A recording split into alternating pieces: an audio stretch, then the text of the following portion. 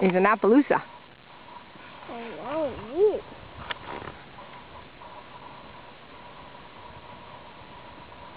He's a boy. of course, he's not going to run now.